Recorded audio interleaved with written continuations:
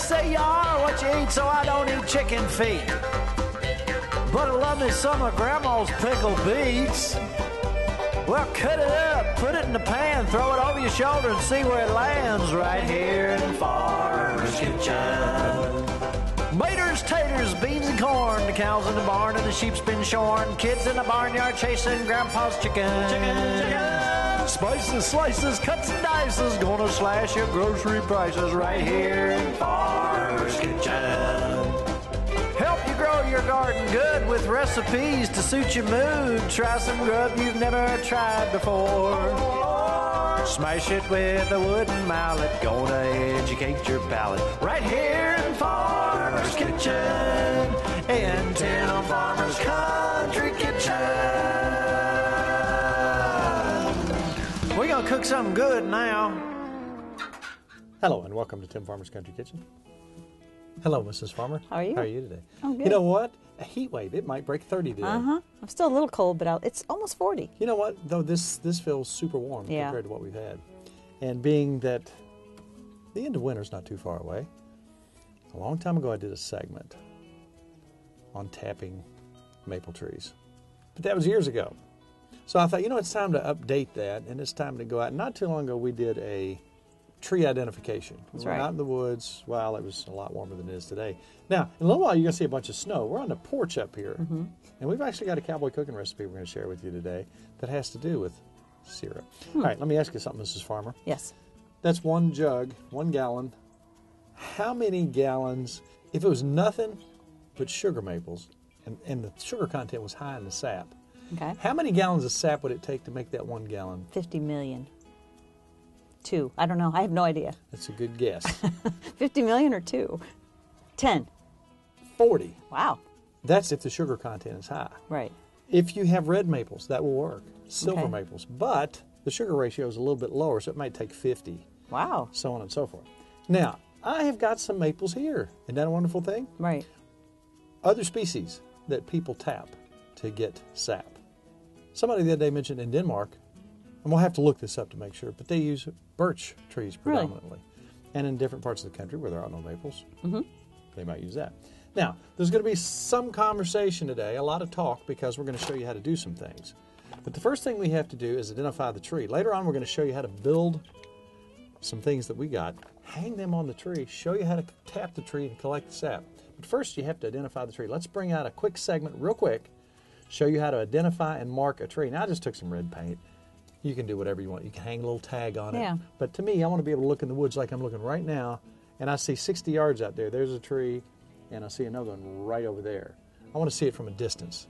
Now, it's not going to hurt that tree. Just a little bit of paint on the outside. So let's learn how to identify, mark, and then we'll come back to this.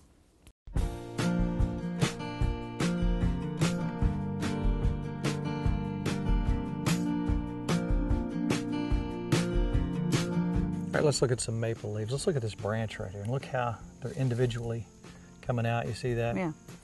And look, there's three main veins here. Now here's your oak leaf. Now there are white oaks and red oaks. You can see the obvious difference there. Now when I'm talking about 10 inches, I'm talking about circumference through the tree. Yeah.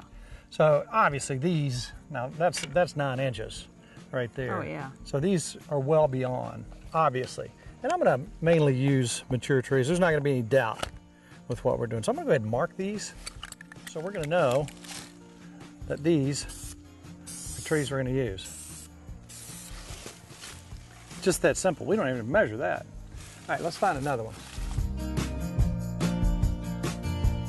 Okay, now, you didn't know a maple tree before. Right. From an oak, That's right. Didn't pay attention. from sassafras, whatever. All right, look up. What do you think this is? It's a maple. See how quickly? I learned. See how quickly You made me look at the leaves. And we know obviously this is a big enough tree. So within sight of that, so we can all see them on the same side. All right, now that you got the eye for it, find me another one. Straight across. Yeah. Look, look around. You see any more? They're everywhere. There's one right there. So being that we're right in this area, if you have a lot of tubing, think about this, Nikki. If we get a little more tubing and we have a big bucket down here low, Right. we can just buy extra half inch tubing, Okay. run those three here, run this one here, run that one here, and they can all go into one collective bucket. I like It's a lot of Yeah. tubing, but But if you find a bunch in one area, why not? So let's find some more and let's mark some more. Ooh, I see another one up there. All right, let's go down here.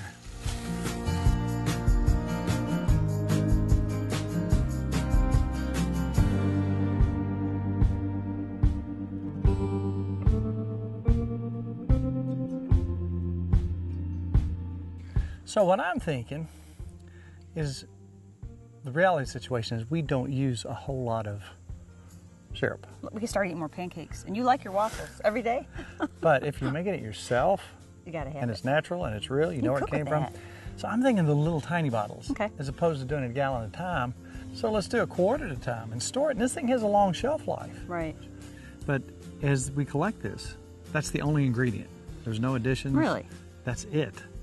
You boil it down. So you take this, we'll build a fire outside. We'll find us an old kettle and we'll cook this stuff down. You skim off the top, kind of the mm-hmm. bitter stuff as you go Right. along. And it reduces down like anything with sugar Really? it. It reduces down, reduces down till it gets the right color and the right thickness. You pour it off. Let's get a spoon Boom. and eat it. Pancakes. There you go. So, we'll be back to follow up on this. And I'm telling you what, in a very, very, very short amount of time, 30, 40 trees, bam. Right. So, we got maple trees. Right. That's cool. Mm-hmm. The next step is to go out and tap them and so on and so forth. But other trees that people have tapped before, I've heard people talk about sycamores, but black Really? walnut. I've also had people tell me about taking shagbark hickory and taking it and boiling it. You get a type of syrup Really? out of the bark there. Now let's talk about where I got this stuff from. I got this from River Ridge Products. They're out of Wisconsin. And here's basically what it looks like. Let's just go ahead and build one, Nikki. Okay. We have our receptacle here, which is a heavy duty food grade plastic bag.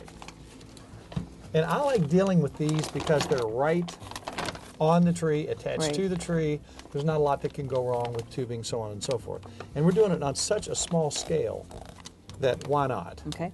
All right, now what we're going to do is go up to the the top of this thing. We're going to gather all that around the top. Is top. We're going to take a zip tie. You see where this is, Nikki, right Uh-huh. here? We're going to put that together and then pull out as tight as we can in that groove. Now, this, see, this is really simple. Yeah, it is simple. Get that as tight as we possibly can. There's a little groove here that fits right into. Simply going to cut this off. Now, what that does is make this tight so nothing can get in there. Now, we're going to take this and fold it down. And I researched this carefully and looked at a lot of stuff. These are rather inexpensive. I think for a kit of 10 of these, it's like 50, 60 bucks. That's not something bad. like that. Yeah.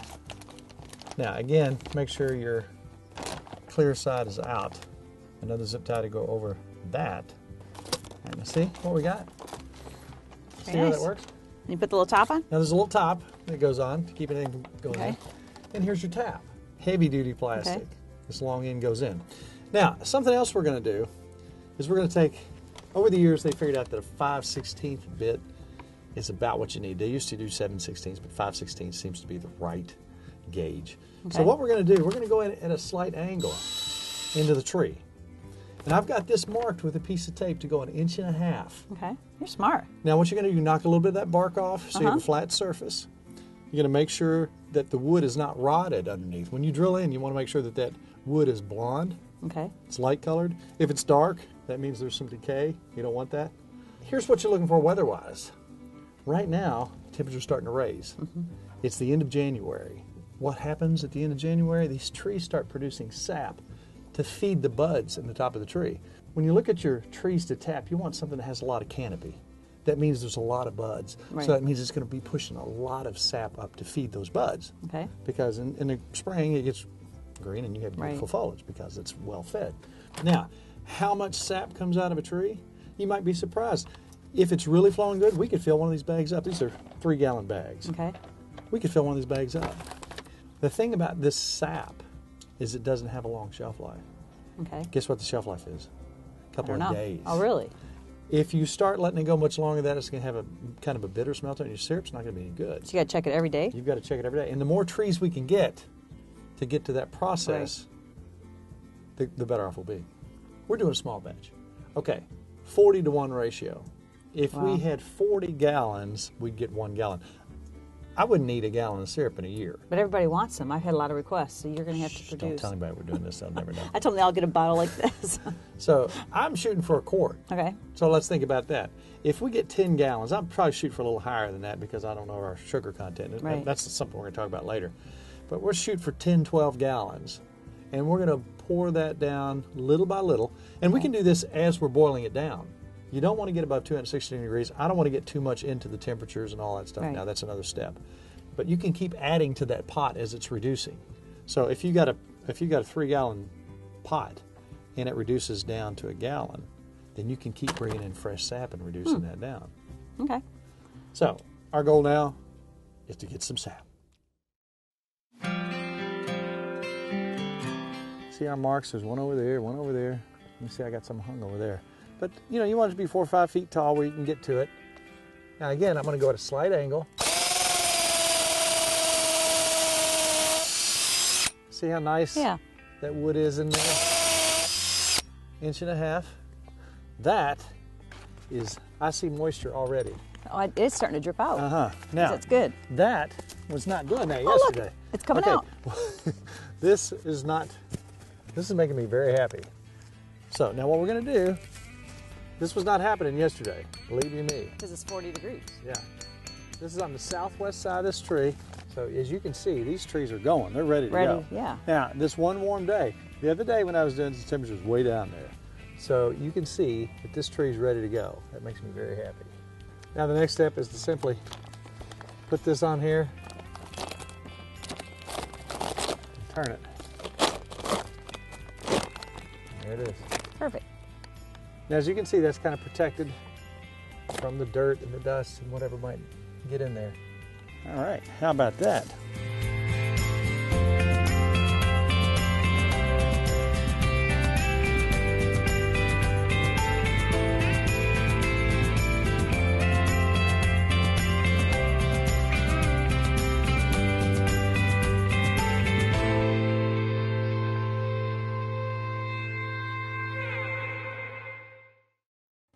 Granny's cook stove. I remember Granny's cook stove and the warmth it used to bring, the kettle come to boiling, and the song it used to sing, the smell of biscuits baking, hearty vegetables in a stew, from the garden Granddad planted and then tended as it grew. There were fruit filled pies and cobblers from the orchard on the hill, tasty golden crusted cornbread made from corn ground at the mill. Quite often on a Sunday, company would come to call, and the smell of chicken frying would come drifting through the hall. The women in the kitchen all helped Granny around the stove, while men folk gathered on the porch, children scampered to the grove. Winter, chilly mornings made it hard to face the day until Granny lit the cook stove and got breakfast on the way. As the ice and snows have melted, so too have passed the years. Granddad is gone, and so is Granny. Meditation brings quiet tears. Still, I treasure every memory, and to happy thoughts I cling as I remember Granny's cook stove and the warmth it used to bring.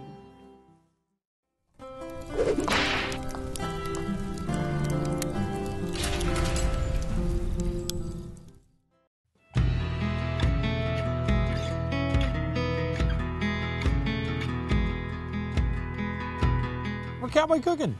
Yay! It's been a long time because of rain, because of mud, because cameras. I'm a little cold, but this is not bad. no, it's actually. really a heat wave compared yeah, to what we've had. Because we're in the syrup mood, that's right. and it's, this is a themed show. Pure maple syrup. Did you ever look at the price of pure maple syrup when you go to buy it? It's pretty expensive. Yes, it is. And there's a reason. That's a long drawn out process. It's not for the faint of heart, and you got to have trees. Right. That helps. And patience. and patience. but we do have a recipe today. We're going to start breaking this up into groups and different degrees of hardship involved in cooking. Okay. If it's really easy, it's going to be a shpop tenderfoot. I like easy and quick. That's going to be a one Okay. on the scale of difficulty. Number two is going to be shh, cowpoke. Okay. All right. That's a that's a medium degree of difficulty. If it's long and drawn out and got a lot of steps, it's going to be three, and that's going to be your ranger. Okay. Wow. All right, that's our three steps one, two, and three. Today, it's as easy as it can get. Yes, it is. This is a one. This is for the tenderfoot. Now, why do we always use the briquettes? There's a reason for that. When we're doing it ourselves and we're out here and we got friends over, Right. we're just taking. We got a big fire going and we're taking coals out and putting it right on the bucket. That's for that's for the ranger and that's for the guy who's been out here doing it for a while. For you folks who are just starting, we want to give you an idea how to eyeball it. And we're going to have 400 degrees today. You have any idea, Mrs. Farmer? How many on the bottom? How many on the top? 714. Close. 612. 17 and 8. Oh, really? Okay. 17 and 8. 400 degrees. Okay, 400. used I'm to- off. Okay. To 350. But what we're going to do is we've got these going over here. We're going to take these, put them on the bottom. The recipe is so simple. Now, Right. we had a syrup that we used to trick Nanny into eating carrots. That's right. So, this secret syrup that we use to trick Nanny That's right. is basically maple syrup, some brown sugar, and butter. Because she didn't like just carrots, but you called it carrots. Carrots. she, hates, she hated carrots. But she loves but carrots. Suddenly, when we made that syrupy mix of butter, brown sugar, and maple syrup, Carrots. the carrots were good. You could put that on shoe leather and eat it. I know. It's delicious. So here's what we're gonna do. You're in a hurry. You got to go tap your trees, feed your pigs, Right. or ride the mayor to town to get you some flour. Okay. Whatever you got to do, quick and easy. It's gonna take about 20 minutes. Tell us what we're gonna do, Miss Farmer. That's absolutely delicious here. This is so simple. And it's kind of a breakfast, but I guess you could have it for a snack. And it just involves biscuits. When So- you don't have time to make your own dough, That's right. Just get a container of biscuits, and they're pretty cheap. You get a four pack for Mm. hardly anything. So we're going to take some biscuits, and we're going to open those up, put those in the pan, and we're going to let those let's let those cook a little bit. Let them rise up a little a bit. little bit yeah.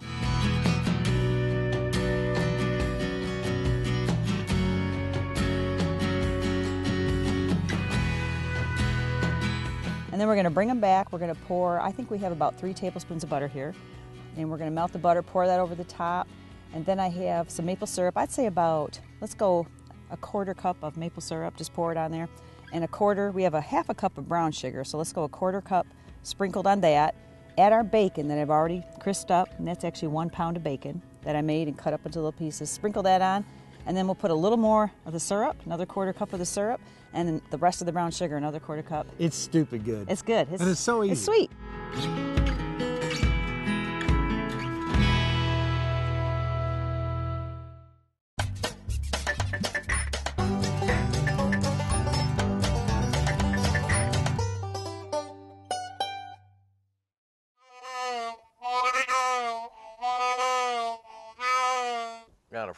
My throat.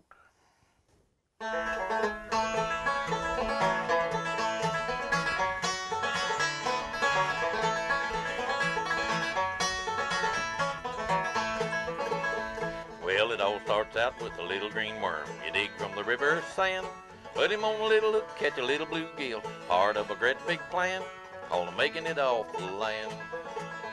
Take a nylon string and a great big hook, tied on a limber limb. Put the little bluegill on the hook, and you wait till the sun gets dim.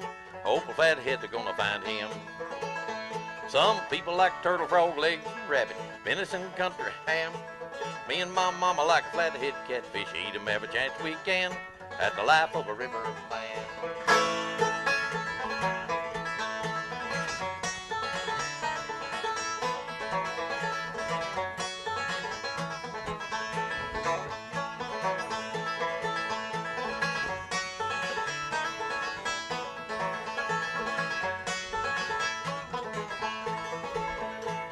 Early next morning, the thick river fall. Check your jingle line. See a limb shaking over on the bank. You hope that you're gonna find a big flathead, he's the right kind. A blue cat, he's a little greedy and strong, and the channel cat don't get big. But the flathead meat, it sure is sweet. Make mom dance a little old jig when you catch him on a jingle line rig. Some people like turtle, frog legs, and a rabbit. Venison in the country ham. Me and my mama like flathead catfish. Eat 'em every chance that we can. That's the life of a. You pick one, brother.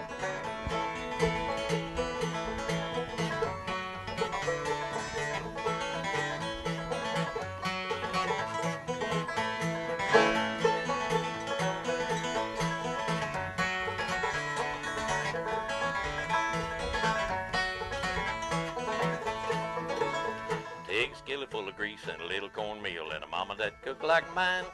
Ain't nothing better when she says come and get it, cause they're perfect every time. Best eating that you ever gonna find. All winter long you hunt and you trap, eat whatever you catch. Sure get tired eating possum and coon, and a mama don't like muskrat. She's a waiting on a flathead cat. Some people like turtle, frog legs, and a rabbit. In the country ham. Me and my mama like flathead catfish. Eat 'em every chance that we can. That's the life of a river man.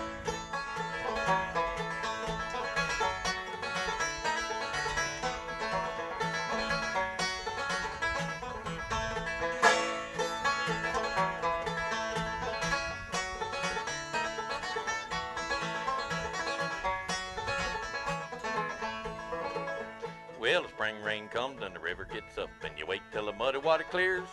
Put out your garden, get everything ready, cause jingle line time is here. Time to gather up your gear. Then it all starts out with a little green worm. You dig from the river sand. That's the life of a river man.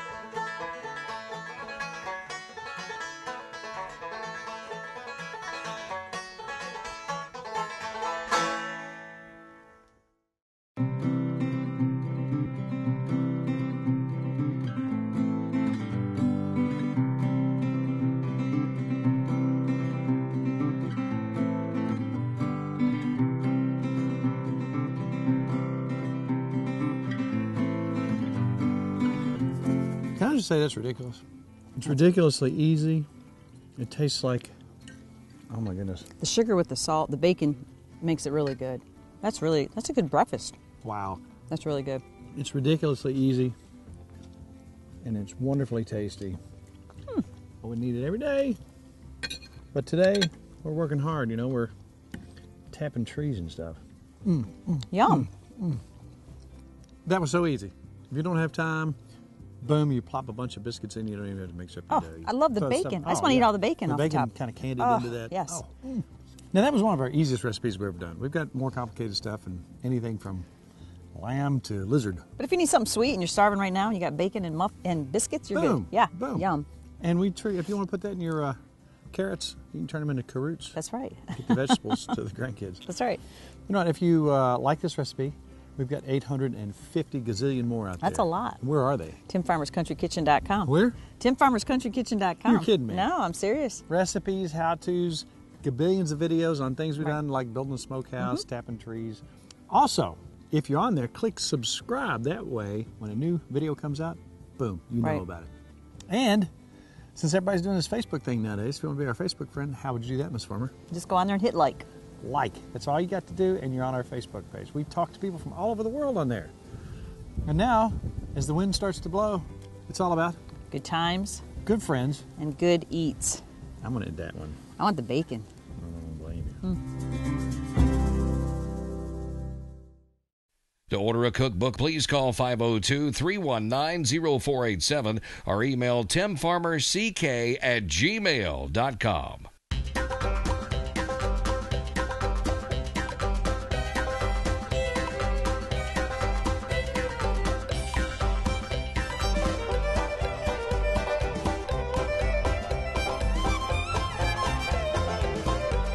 Special thanks to CKY, Canoe, Kentucky.